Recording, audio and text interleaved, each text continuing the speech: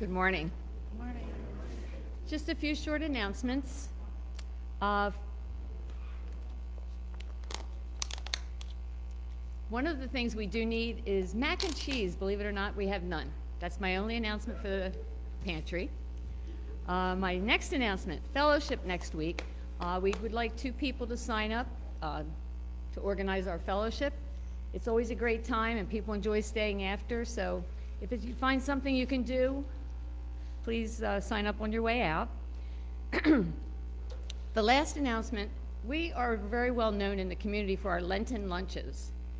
And next week after church, anyone that would like to participate and help us prepare for that, uh, please stay after church and there'll be a meeting in the side room. After fellowship. A- uh, If anybody signs up. Okay. Thank you. Had to get my two cents in. Up to that.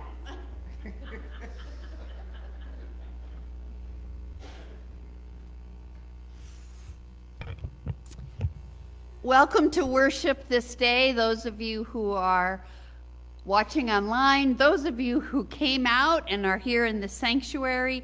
Welcome to all of you. We begin our worship with the ringing of the bell.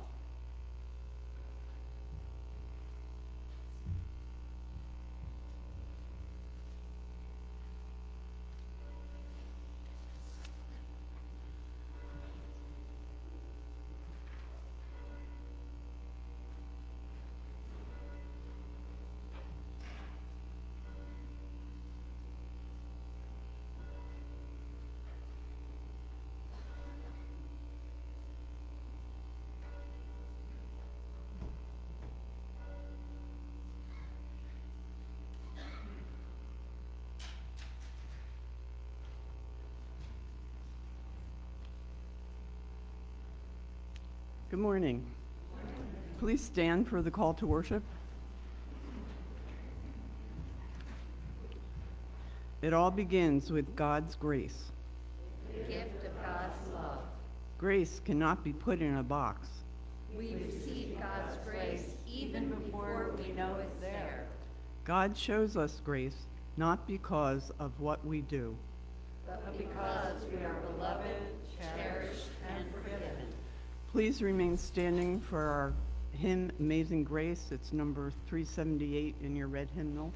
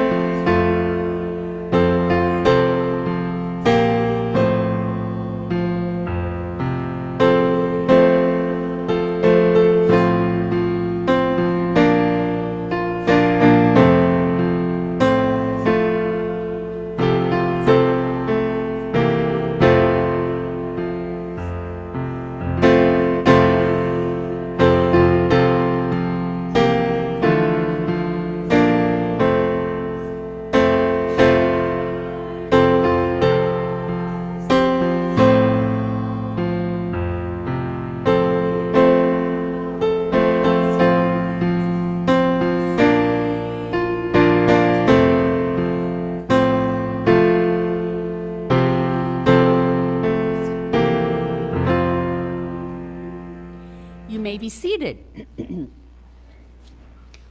uh, one more announcement.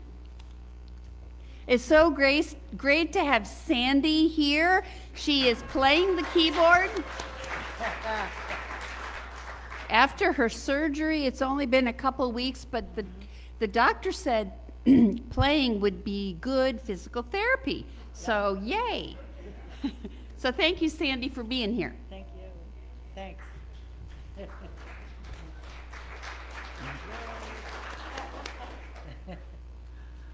Please join me in the opening prayer.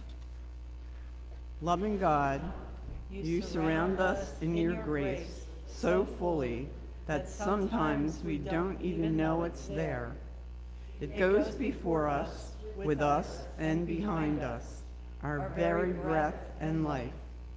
Thank you for this unending gift that calls us into life and love, makes our relationship with you right, and transforms us to become more and more like Jesus. In this time of worship, help us to know and treasure your grace more deeply.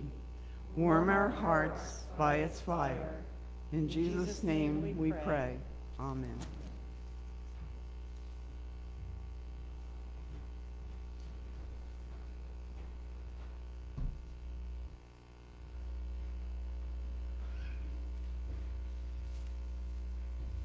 Would the ushers please come forward to accept our offerings?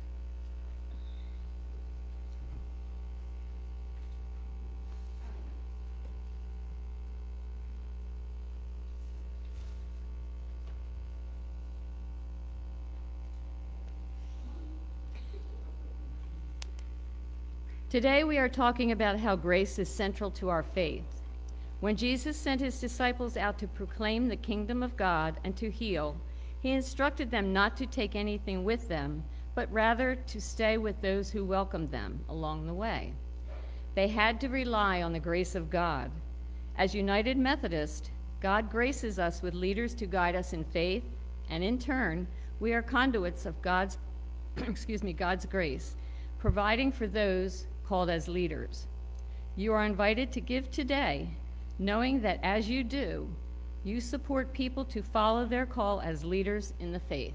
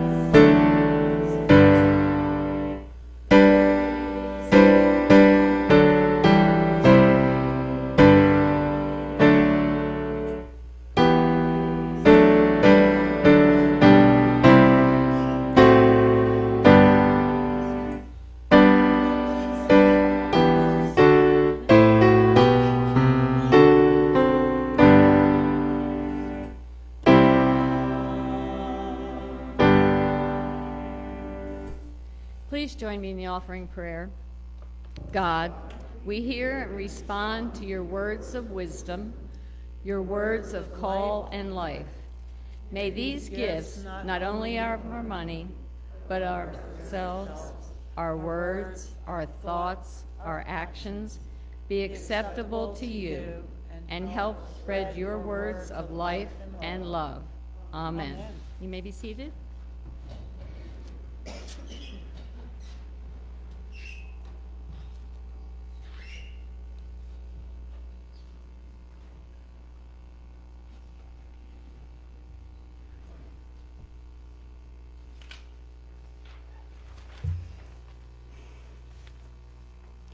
We come to our time of prayer.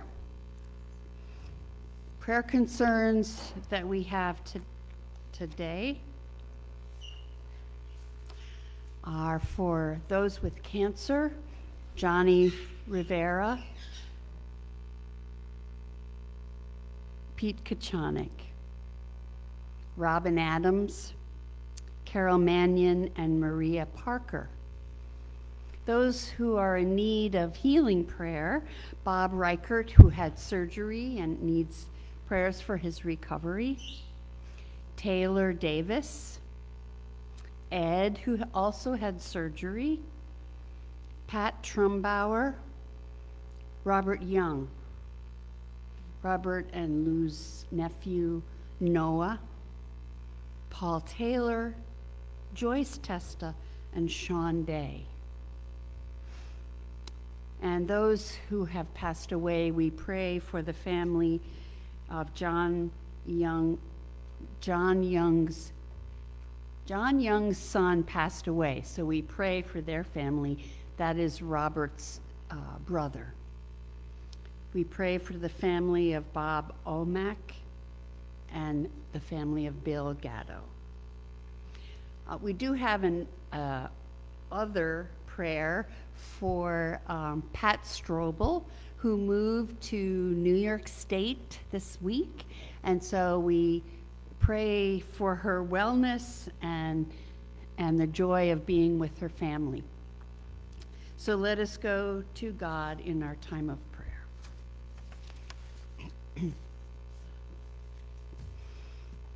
Loving God, we come today with great expectations that you will meet us here and bring joy in this time of worship. We praise you, God, for your amazing love that is with us always through your grace. God, sometimes we don't know where our place in this world is, here today we know this is our place for today.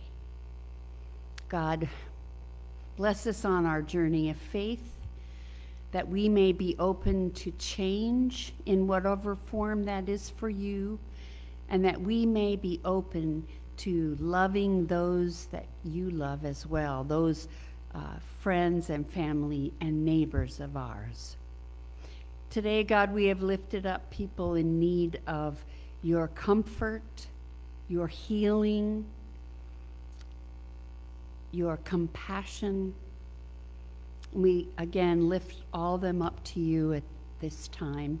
And we have our own concerns that we hold in our heart. And so let us lift those up silently to you, God.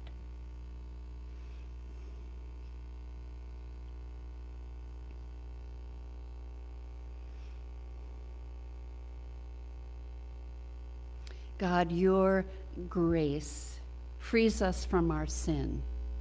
And the world today has so much happening that we wish you would free us from the wars, um, the, the arguments, the evil, the despair, poverty. We lift all those up to you that you may help them be changed with your grace, with your love. We pray all this in Jesus' name, who taught us to pray together, saying, Our Father, who art in heaven, hallowed be thy name. Thy kingdom come, thy will be done, on earth as it is in heaven. Give us this day our daily bread, and forgive us our trespasses as we forgive those who trespass against us. And lead us not into temptation, but deliver us from evil. For thine is the kingdom, and the power, and the glory forever.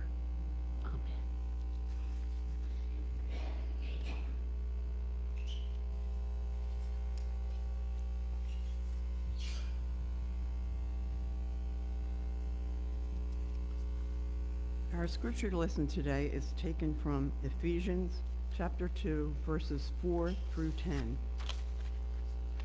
But God, who is rich in mercy, out of the great love with which he loved us, even when we were dead through our trespasses, made us alive together with Christ. By grace you have been saved, and raised us up with him, and seated us with him in heavenly places in Christ Jesus, so that in the ages to come he might show the immeasurable riches of his grace and kindness toward us in Christ Jesus. For by grace you have been saved through faith, and this is not your own doing. It is a gift of God, not the result of works, so that no one may boast. For we are what he has made us, created in Jesus Christ for good works, which God prepared beforehand to be our way of life. This is the word of God. Be to God.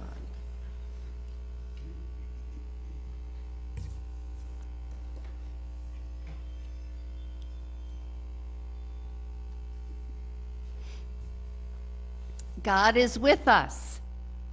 All the time. All the time? God is with us. Great. Today we are continuing our exploration into the roots of our United Methodist faith, and today we explore grace. Grace is a gift from God, given freely to all people to all people. Grace is love and mercy freely given to us by God because God wants us to have it.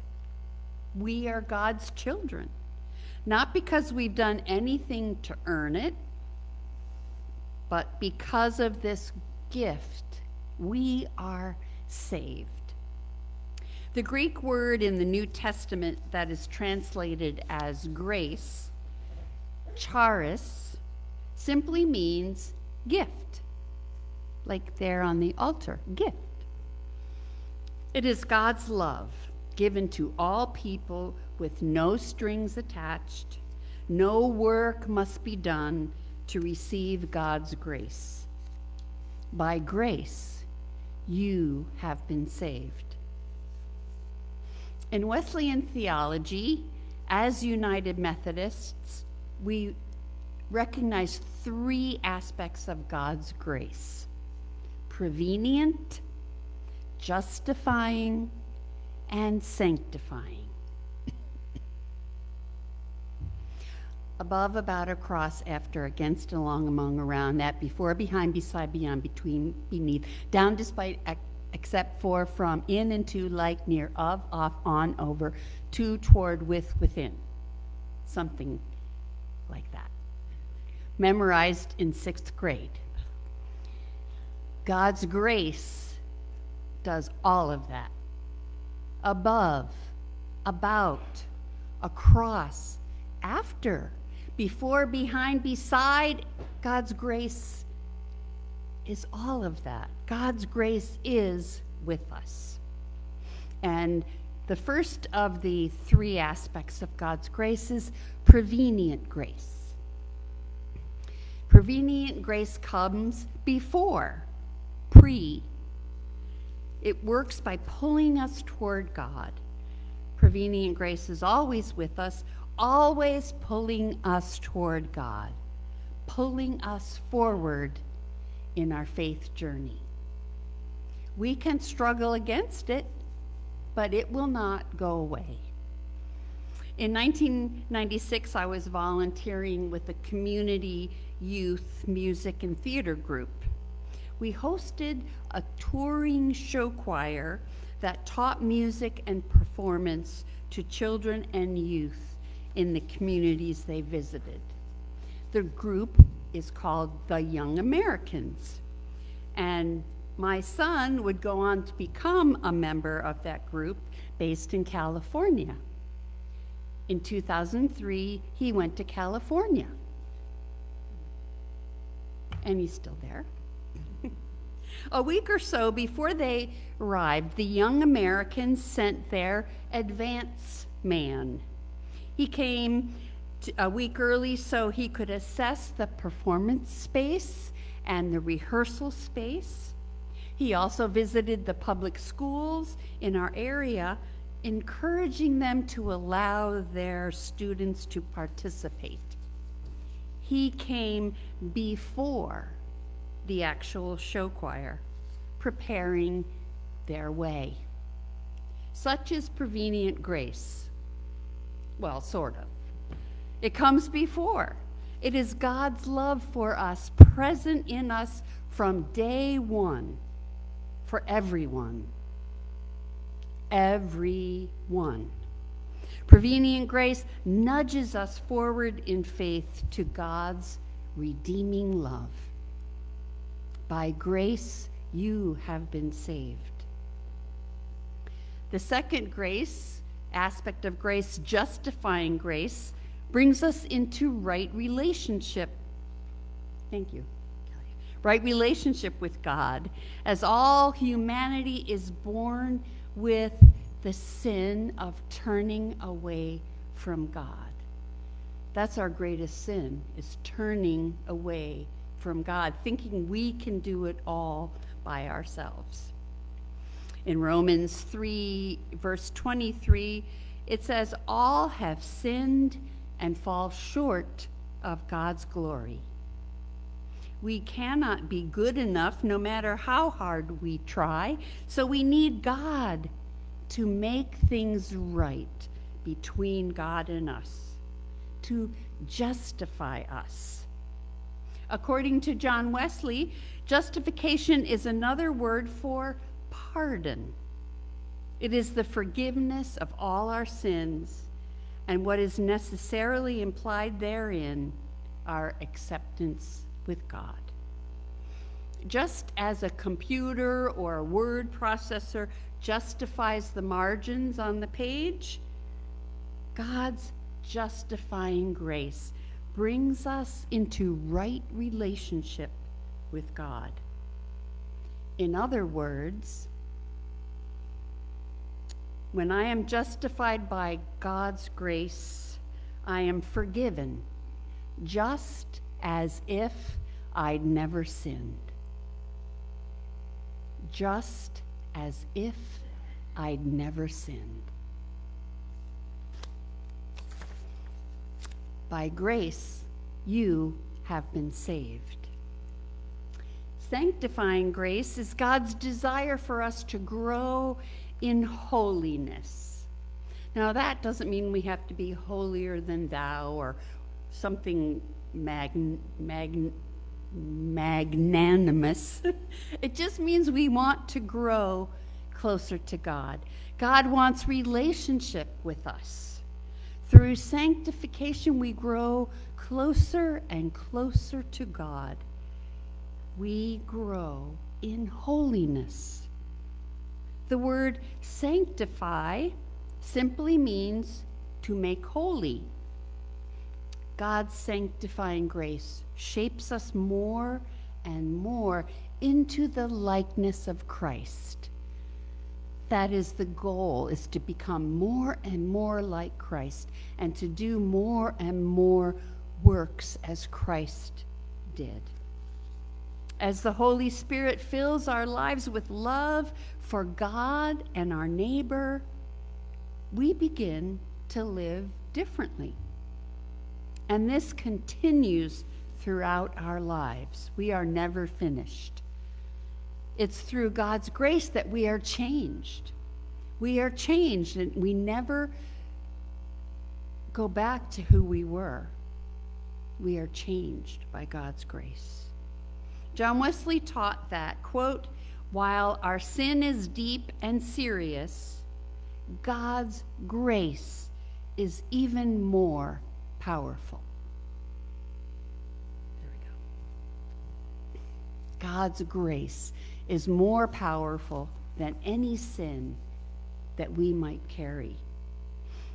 By the sanctifying grace of God, we can actually grow in grace, grow to be more filled with grace, more holy, more grace filled, more like Christ.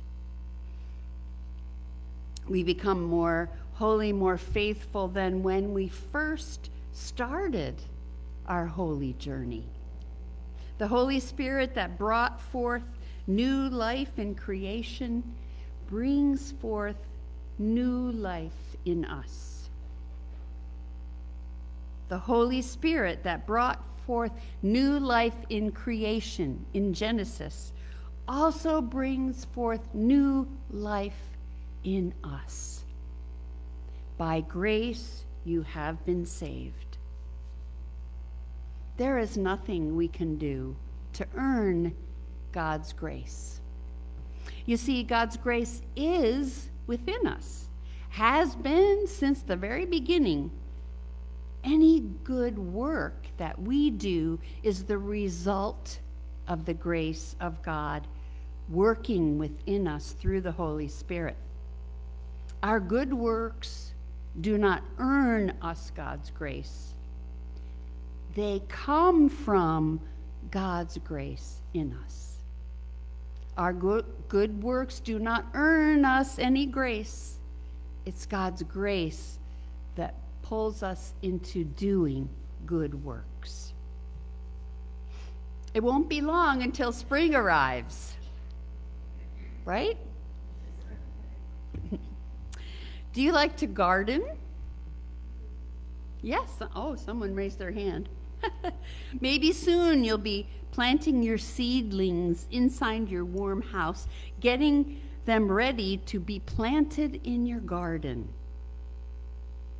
We can think of God's grace as soil that makes everything grow. Soil that makes everything grow. In all ways, God wants to be in relationship with us. I've said this over and over. That's the reason God created us to be in relationship. God wanted us to be in relationship with each other, but mostly with God. God's grace helps move us to the understanding that the love God has for us is unending, is free. God's grace empowers us to give thanks to God, and because of God's grace, uh, because of God's love for us, God's gift to us of amazing grace will do great things, loving things, merciful things. In verse 8, it said, For by grace you have been saved through faith. And this is not your own doing, it is the gift of God. You have been saved by faith because of the gift of God's grace, God's love and mercy for you. William Barclay said, quote, "The word grace emphasizes at one and the same time the helpless poverty of man and the limitless God, kindness of God. We need to look within ourselves and find where God's grace is working and where we may be blocking God's grace from doing good works through us. You see, God continues to work on us. We all need work on us, right? On our hearts. When we experience God's grace, we cannot help but respond we cannot help but respond. Where are you experiencing God's grace in your life? When have you been so full of grace that you had to respond and take, take charge of doing something for someone? Take time this week and consider which of the three types of grace resonates where you are. Do you feel God's prevenient grace working in you, pulling you toward God? Do you know that you are justified, that you have been forgiven, that Jesus Christ came to re- uh, remove our sin. He sacrificed himself that we may have life eternal. And sanctifying grace helps us to grow more and more toward God, grow more and more like Christ. Grace provides us the opportunity to realign ourselves with Jesus. Faith is a dynamic journey that we're on, and it's dependent on God's grace, no matter where we are on that journey. It's not a straight line from prevenient grace to justifying grace to sanctifying grace, and then we move on and on and on.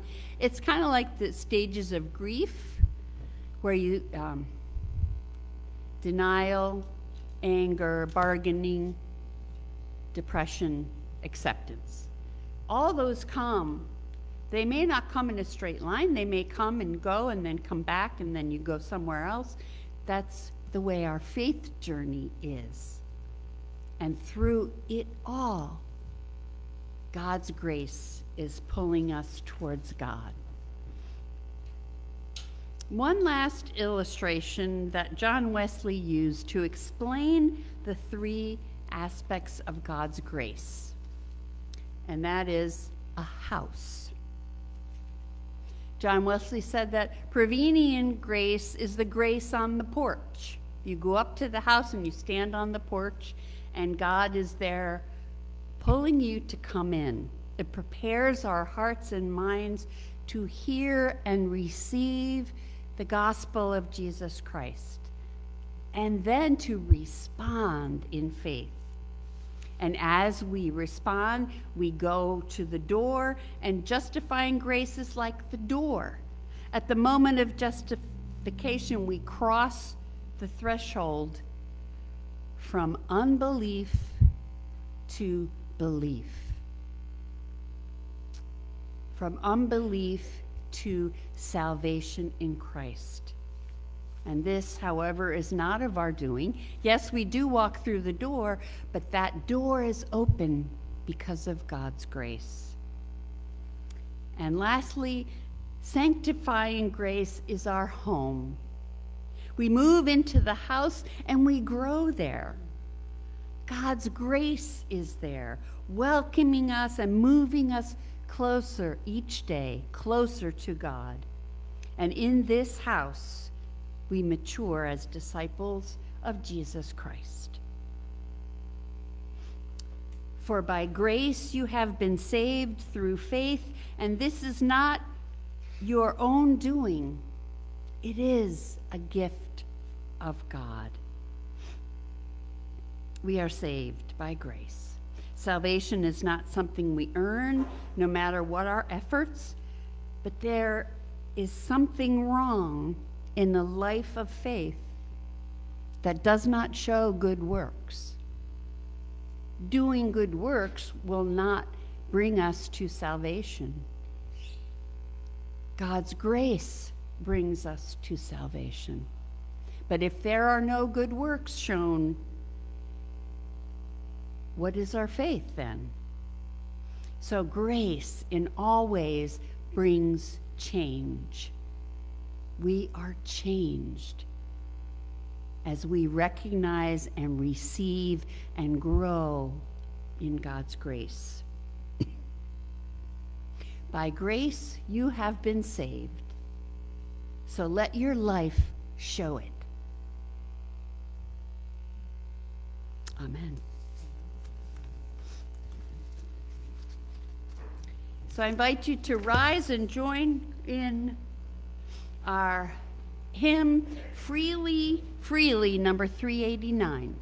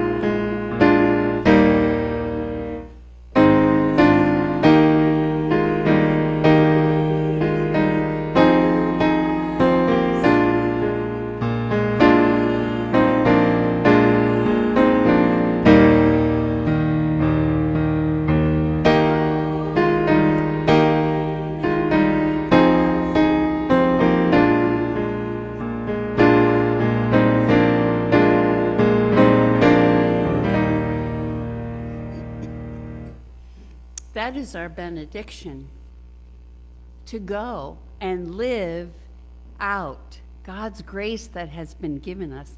We have received it freely, and let us give freely so that our good works show that we have been saved through Jesus Christ. Go in the peace of God the Father, God the Son, and God the Holy Spirit to love and serve our God. Amen.